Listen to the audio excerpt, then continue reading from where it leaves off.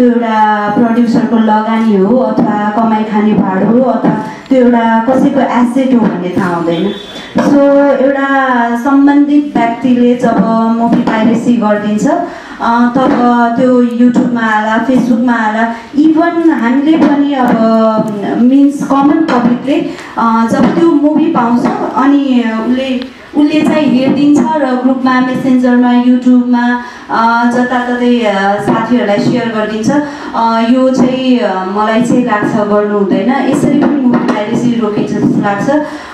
मैले प्रेम गीतको मलाई अलिकति डिटेल्स थाहा छ पाइरेसीको बारेमा। मैले अलिकति बुझेर आएको थिएँ आज उयो गरेर यो चाहिँ एउटा नर्मल मान्छेले चाहिँ अब पाइरेसी गर्नुभएको थियो। सो उहाँको एउटा एबिलिटी हुँदैन कि त्यो पाइरेसीको राहत चाहिँ ओके पाइरेसी चाहिँ कसरी भरिपाई गर्ने उहाँमा एबिलिटी हुँदैन। त्यतिखेर एक करोड पचास लाख यतिको कुरा आउन सक्छ। सो देन सो देन त्यतिखेर चाहिँ पब्लिकलाई नै हामीले अहिले हेरिराख्नु भयो होला। धेरै पब्लिकले सो उहाँहरूलाई चाहिँ अलरेडी अवेर गरिदिनुपर्छ कि मुभी चाहिँ यदि कतैबाट पनि हात पऱ्यो भने अथवा केही सोर्सहरू छ भने चाहिँ त्यसलाई हामीले स्टप गर्नुपर्छ एउटा सिडीमा पनि ल्याउनु हुँदैन। यसरी चाहिँ हाम्रो कन्ट्रीमा चाहिँ जब हामीले सर्भरमा चाहिँ त्यो राइट युज गर्न पाउँदैनौँ भने मुभी पाइरेसी चाहिँ पब्लिक लेभलबाट रोक्नुपर्छ जस्तो लाग्छ। अनि त्यो बाहेक यो मिडियाबाट हरासमेन्टको कुरा आउँछ साइकोलोजिकल हरासमेन्ट हुनसक्छ।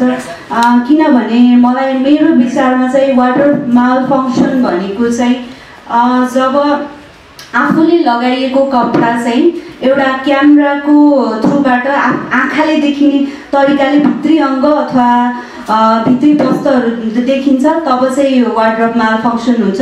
तर त्यसलाई इन्टेन्सनल्ली क्यामेराले एउटा नर्मल्ली अब ड्रेस लगाएर उभिँदाखेरि पनि क्यामेराले नराम्रो एङ्गलले जब लिइन्छ त्यसलाई चाहिँ त्यो फोटोग्राफिक माल फङ्सन जस्तो लाग्छ।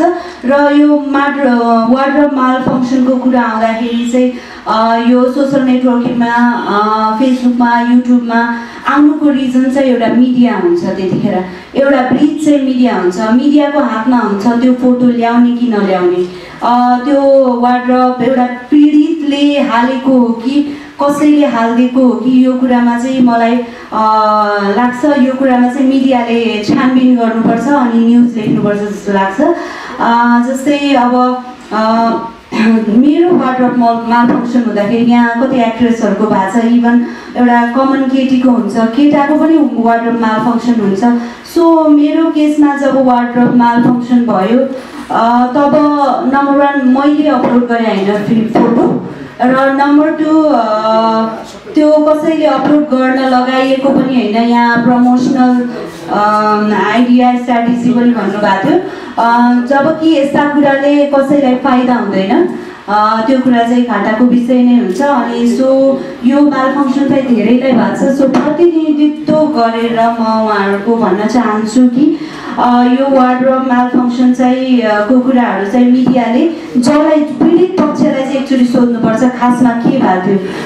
त्यो न्युज बनाउनुभन्दा पहिले त्यो इन्टेन्सन हो भनेर लेख्नुभन्दा पहिले चाहिँ पीडित पक्षलाई पनि सोध्नुपर्छ छानबिन गर्नुपर्छ। त्यो कसरी लिएको थियो? किनभने जब एउटा अनलाइनले फोटो राखेर त्यो स्टप सेन्सर नराखिकन ब्लर नगरिकन राखिदिन्छ त्यतिखेर चाहिँ हरासमेन्ट फिल हुन्छ। किनभने त्यो एउटा भाइरल हुन्छ नेटवर्किङ साइटबाट सबैको आँखामा जान्छ। त्यतिखेर फ्यामिली पनि पढ्न सक्छ रेस्पेक्टफुल मान्छे पनि पढ्न सक्छ। सो यो कुरालाई चाहिँ अनि मिडियाले लेख्नुभन्दा पहिले अन्तरबाट अन्तर्क्रिया गर्नुपर्छ जस्तो लाग्छ। किनभने त्यो अनलाइनको जुन मेरो बारेमा लेखिएको न्युज थियो त्यसलाई यति ठुलो पत्र हुन्छ नि। एउटा न्युज पेपरले पनि कभर गर्यो। त्यतिखेर अलिक नराम्रो लाग्यो किनभने त्यहाँ अलिक इन्टेन्सनका कुराहरू गरिएको थियो जानी जानी भन्ने कुराहरू गरिएको थियो। किनभने त्यो अनलाइन न्युजमा जुन टाइपले म्यानिपुलेट गरेर न्युज लेखिएको थियो त्यसलाई चाहिँ उहाँहरूले चाहिँ मलाई नसोधिकन मेरो अन्तर्वार्ता नलिकन यो एक्सिडेन्टको बारेमा नसोधिकन जसरी न्युज लेख्नुभयो त्यो त कमन अडियन्सको सामु पनि गयो। त्यतिखेर अझै बढी हरासमेन्ट फिल भयो मलाई किनभने मेरो आफ्नो इमेजको बारेमा उहाँहरूले के सोच्नु भएको होला? किनभने म एउटा इमेज र आइडेन्टिटी खोज्दै आएको मान्छे। सबैलाई आफ्नो राम्रो आइडेन्टिटी प्यारो हुन्छ। र त्यतिखेर चाहिँ एउटा कमन न्युज पेपर पढ्ने मान्छेले चाहिँ बिहान के सोध्छ भन्ने फिलिङ्स आउँछ मलाई चाहिँ? र त्यतिखेर पक्कै पनि उसले लेखेको कुरालाई नराम्रो नराम्रो नै सोध्छ। र अनि अर्को कुरा चाहिँ मिडिया इथिक्स आउँछ। मिडिया इथिक्समा पनि पर्छ एउटा अन्तर्क्रिया कार्यक्रम राखौँ होइन? प्रेमगीत त एउटा प्रतिनिधि चलचित्र मात्र हो जसले चाहिँ धेरै चिज भोगेको छ। प्रेमगीत वान लिक हुने बेलादेखि लिएर प्रेमगीत टूको सुटिङ सेटबाट फोटोज लिक हुनेदेखि लिएर त्यही पाइरेसीको विषय लगायत अनि अब युट्युबमा चाहिँ हाम्रोमा डिसलाइक बढाइने जस्तो र हाम्रो नायिकाले एउटा हेरासमेन्ट फेस गर्नु पऱ्यो त्यो सबै चिजहरू साइबर क्राइम अन्तर्गत आउँछ कि आउँदैन? यदि आउँछ भने त्यसलाई कसरी सम्बोधन हुन्छ त सरकारी निकायबाट यसलाई फर्दर रोक्नलाई के कस्तो प्रोसेस के छ? त्यो त्यो विषयमा चर्चा गरौँ त्यो विषयमा छलफल गरौँ। हामीले एउटा सेक्युरिटी पाऊँ भोलि दिन प्रेमी दुई पनि पाइरेसीको शिकार हुनबाट जोगाउनलाई के उहाँहरूले के एउटा प्रतिबद्धता देखाउन सक्नुहुन्छ त्यो विषयमा छलफल गरौँ भनेर हामीले यो आयोजना गरेका थियौँ। तर उहाँहरू कारणवश आउनु पाउनु भएन। आउनु पाउनु नभए तापनि अब एउटा हामीले एउटा होल होल फिल्म इन्डस्ट्रीलाई रिप्रेजेन्ट गरेर इस्यु उठाएका छौँ। प्रेमी टू मात्र लिक हुन्छ अथवा पाइरेसीको शिकार हुन्छ भन्न खोजेका होइन। प्रत्येक चलचित्र पाइरेसीको शिकार हुनसक्छ। त्यसले क्षतिपूर्ति त्यसले क्षतिपूर्ति त सेकेन्डरी कुरा भयो होइन। त्योभन्दा अगाडि त्यसलाई रोकथाम र कसैले गरे नियतवश गरे अथवा कारणवश अनइन्टेन्सनली भएको खण्डमा के कस्तो हुनसक्छ त भोलि हामी त्यसबाट पीडित भयो भने हामीले के कस्तो प्रोसेस अगाडि बढाउनु पर्ने हो त त्यो विषयमा हामी क्लियर हौँ र प्रत्येक नेपाली फिल्म इन्डस्ट्रीका स्टेक होल्डरहरूले चाहिँ यो विषयमा क्लियर हौँ भनेर चाहिँ हामीले अन्तर्क्रिया राखेका थियौँ। आज केही हदसम्म यसलाई हामीले सफलता हात पार्न सकेनौँ किनभने गभर्मेन्ट अथोरिटिजहरू कोही आउनु भएन। र त्यसका बावजुद पनि हाम्रो डिसी सर हुनुहुन्छ आकाश सरहरू हुनुहुन्छ उहाँ पनि एउटा नेपाली फिल्म इन्डस्ट्रीलाई रिप्रेजेन्ट गर्ने एउटा हस्तीहरू हुनुहुन्छ। उहाँबाट पनि बुझ्न चाहन्छौँ। हामी त जस्ट एउटा रिप्रेजेन्टेटिभ मात्रै हौँ। त्यही हो। हामीले फेस गरेको चार पाँचवटा केसहरू छ। त्यो केसलाई कसरी सम्बोधन हुन्छ? भोलिको दिनमा कसरी हाम्रो सिक्युरिटी हुन्छ? त्यही हो हाम्रो आजको। Chocolate. चार पाँचवटा पहिला प्रेमित वान लिक भयो पाइरेसी भयो। एकाउन्न दिन सेलिब्रेट गरेको दिनमै हाम्रो फिल्म लिक भएको थियो।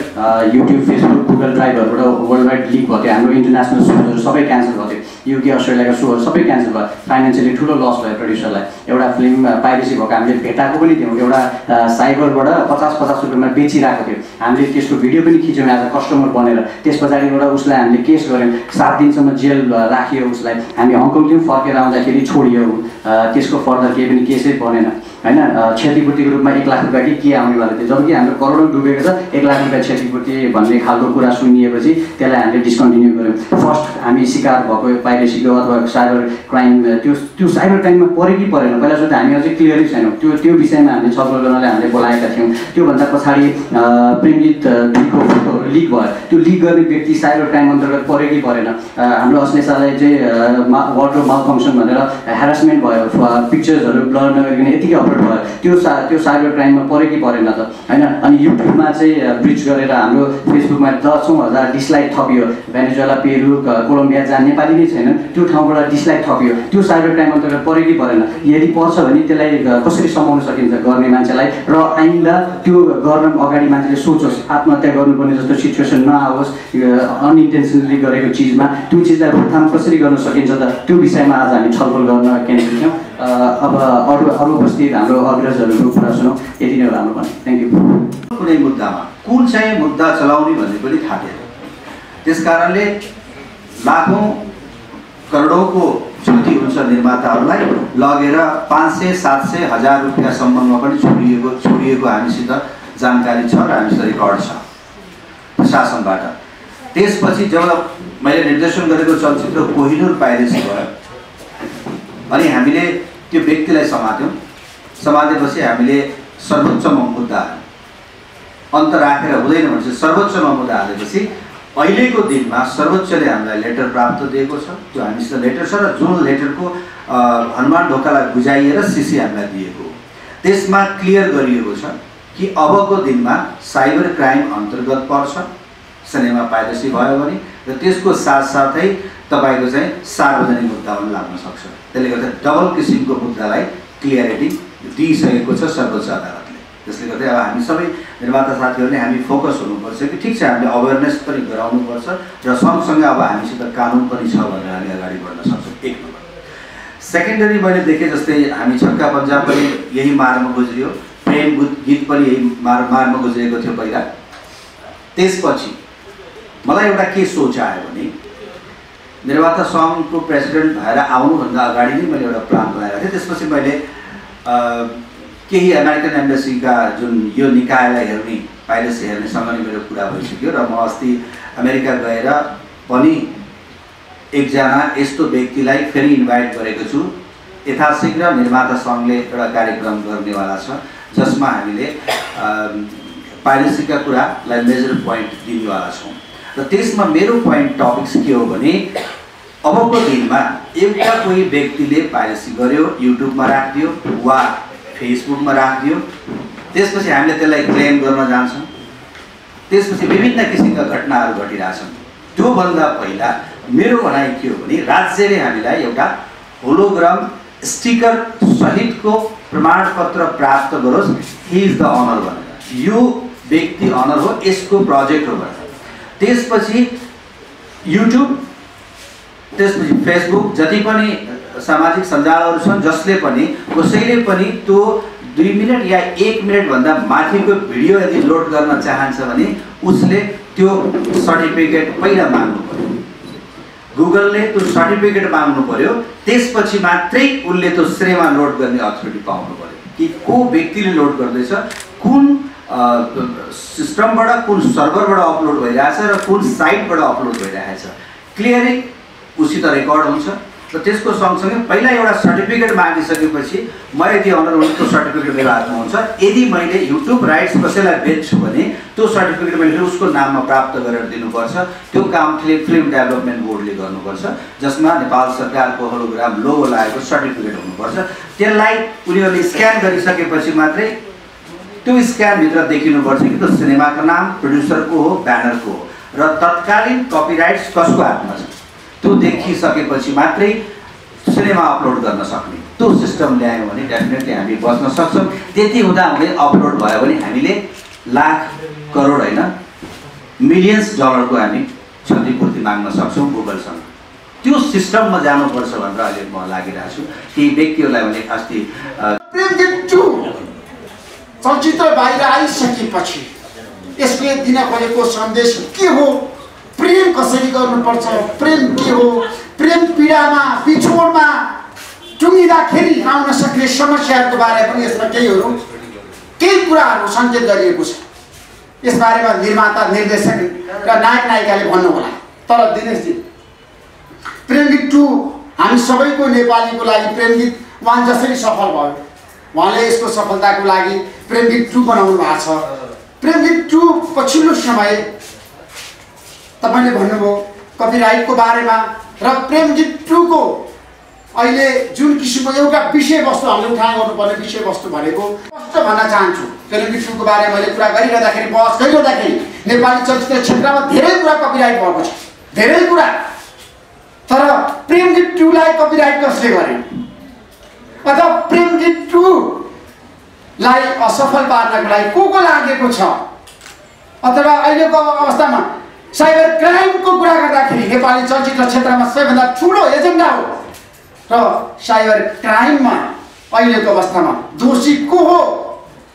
मैले नेपाल प्रहरीका प्रमुखहरूसँग यस बारेमा कुरा गरेको थिएँ। तपाईँले आएर बोलिदिनु पर्यो। साइबर क्राइमको बारेमा भनेर मैले धेरैलाई भनेको थिएँ। धेरैको बोल्न साना हुँदा हुँदै पनि अहिले नेपाल प्रहरीमा एउटा सिस्टम छ। गृहमन्त्री बाहिर हुनुहुन्छ गृह सचिव बाहिर हुनुहुन्छ र गृहमन्त्रीले के भन्नुभएको छ भन्दाखेरि प्रहरी अधिकृतहरूले बोल्नुभन्दा पहिला मसँग अनुमति लिनुपर्छ भनेर भन्नुभएको छ। जनार्दन शर्माले पछिल्लो समयमा निर्देशनै छ मसँग अन्तर्वार्ता अस्ति धमराको उहाँलाई भन्नुभएको छ। प्रहरीको अधिकृतहरूले गएर बाहिर बोल्ने होइन भन्नुभएको छ उहाँले त्यसैले गर्दाखेरि मैले धेरैलाई सोधेँ धेरैलाई आग्रह गरेँ उहाँहरूले के भन्नुभयो भने ऋषि धमलाजी दुई दिनपछि तिन दिनपछि हामी आएर बोल्न सक्छौँ। गृहमन्त्री यहाँ हुनुहुन्न। हामीले त्यसको लागि एउटा सिस्टम छ अनुमति लिनुपर्छ। हामी कपिराइटको बारेमा साइबर क्राइमको बारेमा अहिले चलचित्र क्षेत्रमा देखेका विकृति विसङ्गतिको बारेमा अथवा चलचित्र क्षेत्रमा सुधार गर्नुपर्ने कारण आधारको बारेमा पनि हामी स्पष्ट रूपमा बोल्छौँ भनेर उहाँले भन्नुभएको छ। अर्को दिन हामी साउन तेह्रभन्दा पहिल्यै फेरि प्रेम गीत टूको बारेमा। यहाँ विभिन्न क्षेत्रका विज्ञहरू ल्याएर रिपोर्ट्स गर्ने बारेमा बहस गर्नेछौँ यसका चुनौती अप्ठ्यारा। अहिले जुन किसिमको समस्या भोगिरहेको छ प्रेम गीत टूले हरेक क्षेत्रको मान्छेहरूको मन र मस्तिष्कमा अहिले प्रेम गीत टू छ। बजारमा चर्चा परिचर्चा हुन्छ प्रेम गीत टूको घरमा चर्चा हुन्छ सहरमा चर्चा हुन्छ बाटो घाटोमा चर्चा हुन्छ चिया पसलमा चर्चा हुन्छ पत्रकारहरूको मुखमा चर्चा छ। प्रेम गीत टू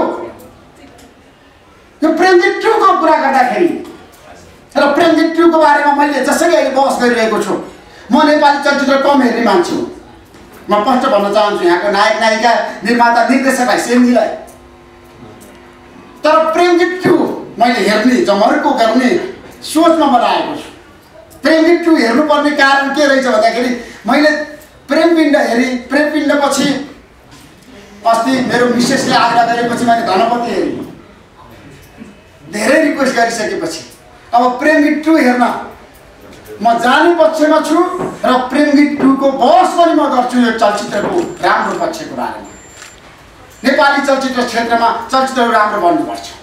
नेपाली चलचित्र क्षेत्रमा चलचित्रहरू आउनुपर्छ। नेपाली चलचित्र क्षेत्रले इन्टरनेसनल मार्केटमा प्रतिस्पर्धा गर्न सक्ने क्षमता राख्छन्। नेपालका निर्देशक निर्माता कलाकारहरू नायक नायिकाहरू अन्तर्राष्ट्रिय क्षेत्रमा प्रतिस्पर्धा गर्न सक्छन्। यो चलचित्र कहाँ कसरी सुटिङ भएको छ? यसको बारेमा अहिले हाम्रो निर्माताजीले निर्देशकजीले नायकले नायिकाले भन्नुहुनेछ। तर म के भन्छु भन्दाखेरि प्रेम टू नेपाली चलचित्र क्षेत्रको लागि अनुकरणीय उदाहरणीय र कथा वस्तुमा एकदम बगेको र कथा वस्तुलाई साँच्चीकै नायक र नायिकाले सहज रूपमा अभिनय गरेको। एकदम वस्तुनिष्ठ भएर वास्तविकतामा वास्तविकतामा आधारित भएर अभिनय गरेको चलचित्र हो। त्यसैले मेरो मित्र प्रदीपजी उहाँलाई म बधाई दिन चाहन्छु। उहाँको राम्रो किसिमको अभिनय नेपाली चलचित्रमा अहिलेको पुस्ताले हेर्न पाउँछन् देख्न पाउँछन् र यो चलचित्रले साँच्चीकै नेपाली चलचित्र क्षेत्रमा एउटा सन्देश प्रवाह गर्नेछ र हाम्रो नव नायिकाहरू धेरै आएका छन्। तर अश्लेषा ठकुरी यो चलचित्रमा जसरी जम्नु भएको छ अभिनयमा त्यसै गरी आगामी दिनमा अरू चलचित्र पनि जम्नुहोस् नयाँ कलाकारहरू चाहिएको छ। दिनेशजी तपाईँ पनि चलचित्र बनाएर एकदम पोख्त भएको परिपक्व भएको। र अहिले कम चलचित्र बनाउने अरूको चलचित्रमा समीक्षा गर्ने विश्लेषण गर्न सक्ने तपाईँ एउटा निर्देशक निर्माता र कलाकार हुनुहुन्छ।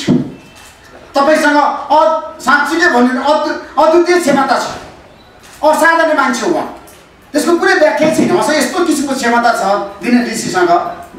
उहाँले बोल्न थालेपछि सबै मान्छे छ नि वा वा दिनेश ऋषि भनेर मुक्त कण्ठले प्रशंसा गर्छन्। त्यो एउटा कला कला भएको मान्छे हो। त्यसैले गर्दाखेरि आज मलाई लाग्छ यो चलचित्र निर्माताका लागि पीडा होला। यो चलचित्र चल्ला कि नचल्ला यो चलचित्रको अहिले नै पहिले नै बाहिर कपिराइट आउने हो कि? बजारमा छ्यापछ्याप्ती तपाईँको हात हातमा पुग्ने हो कि? चलचित्र हलमा नपुग्दै अरूले कपिराइट गरेर देखाइदिने हो कि बेचिदिने हो कि? भन्ने एउटा पीडा छ। किनभने यो चलचित्र जुन किसिमले एउटा टिमले बनायो प्रेम गीत वान जुन टिमले बनाएको थियो त्यो टिममा केहीमा यसका भित्री पाटाहरूमा जाने हो भने केही दरारहरू पैदा भयो। केही समस्याहरू आयो प्रेम गीत टूका केही व्यक्तित्वहरू साँच्चीकै भन्यो भने अहिलेको अवस्थाको कुरा गर्दाखेरि मैले यो चलचित्रको राम्रो पक्ष मात्रै म आज बहस गर्छु नेपाली चलचित्र क्षेत्रमा। म नकारात्मक कुरा गर्न चाहन्छु। नेपाली दाजुभाइ दिदीबहिनीहरू आमा बुवाहरू चलचित्र हेर्नमा एकदम पछिल्लो समय चाहना राख्नुहुन्छ रुचि राख्नुहुन्छ। तपाईँले कथावस्तु जुन किसिमले बनाउनु भएको छ एकदम राम्रो पनि छ नेपाली चलचित्रमा पछिल्लो समय। प्रविधिको कुरा गर्ने हो भने टेक्नोलोजीको कुरा गर्ने हो भने हाई क्वालिटीको पनि बनेको छ। कलिउड बलिउड हलिउड हुँदै हाम्रा नेपाली चलचित्र कर्मीहरू पुग्न सक्ने अहिलेको पछिल्लो पुस्तामा त्यो किसिमको क्षमता पनि छ। त्यो किसिमको स्तरीय चलचित्र बनाउन सक्ने सामर्थ्य पनि राख्नुहुन्छ। त्यसैले तपाईँ ढुक्क हुनुहोस् नहात्तिनुहोस् हरेस नखानुहोस्।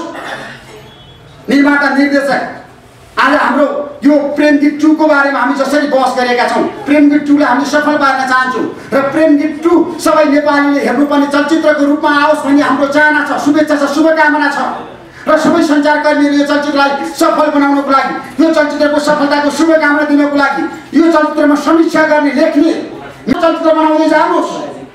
राम्रो चलचित्र तपाईँले बनाउनु भएपछि सबैले हेर्नुपर्छ जसले कपिराइट गरे पनि त्यो सफल हुँदैन। हुनुहोस्। अहिले तपाईँहरूको एउटा जुन टिममा पीडा छ नि बहसको विषय भएको छ नि के हुने हो? पहिले चलचित्र बाहिर आइदिने हो कि? जसरी तपाईँहरूको एउटा छलफलको विषय भएको छ आत्मविश्वासका साथ अगाडि बढ्नुहोस् हेर्नुहोस् मान्छेले काम गरेपछि त्यसको आलोचना हुन्छ। तपाईँहरू चुप लाएर बस्नु भएको भए प्रेम टू नबनाउनु भएको भए प्रेम टू नआएको भए त्यसरी यसरी चर्चा हुन्थ्यो बहस हुन्थ्यो। त्यसैले जसले काम गर्छ त्यसको आलोचना हुन्छ। विश्वमा कसको आलोचना भएको छैन? कसको कपिराइट भएको छैन? अमेरिकाको राष्ट्रपतिको आलोचना भएको छैन ट्रम्पको। भारतको प्रधानमन्त्री मोदीको आलोचना भएको छैन?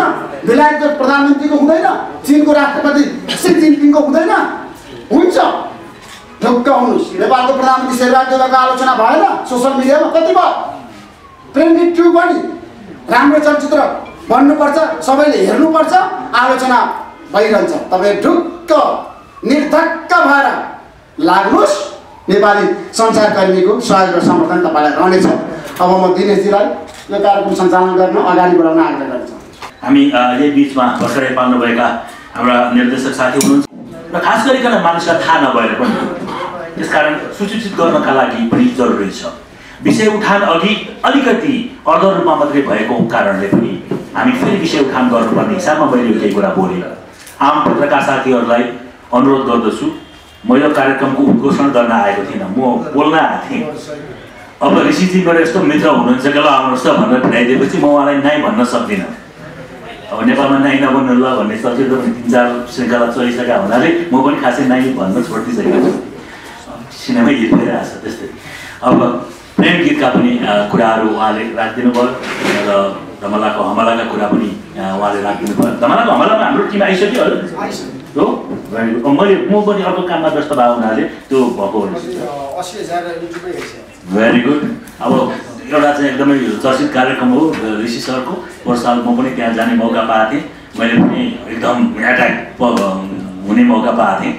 तर रमाइलो माया एट्याक जे होस् हामी कुरा गरिरहेका छौँ कपिराइटको र यतिखेर यो कपिराइटको विषयमा र खास गरिकन प्रेम गीतमा चाहिँ के के कपिराइट भायोलेसनहरू भयो र त्यसले निर्माण पक्षलाई कलाकारहरूको आफ्नो गोप्यतालाई उसका कतिपय कुरा सेक्रेसी जो अन स्क्रिन पर्दामा थिएटरमा मात्रै हेरौँ भन्ने निर्माण पक्षको निर्देशन निर्देशकको चाहना रहेको हुन्छ। ती चिजहरू सामाजिक सञ्जालबाट पहिल्यै सार्वजनिक भइदिँदाखेरि के कस्ता किसिमका कहानीहरू हुन सक्छन् र हालसम्मको अवस्था प्रेम गीतले बेहोर्नु परेको अवस्थाको बारेमा जानकारी अलिकति बढी राख्ने हुनुहुन्छ यस चलचित्रका नायक अहिलेका जल्दाबल्दा नायक पूर्व पश्चिम नेपालभरि टुर गर्दाखेरि यिनका पछाडि देखेको फ्यान फलोइङले भन्छ कि यिनी नयाँ पुस्ताका सर्वाधिक चर्चित नायकहरूमध्ये एक हुन् र तिनै नायक प्रदीप खड्कालाई आफ्नो विचार होइन सन्तोष सर।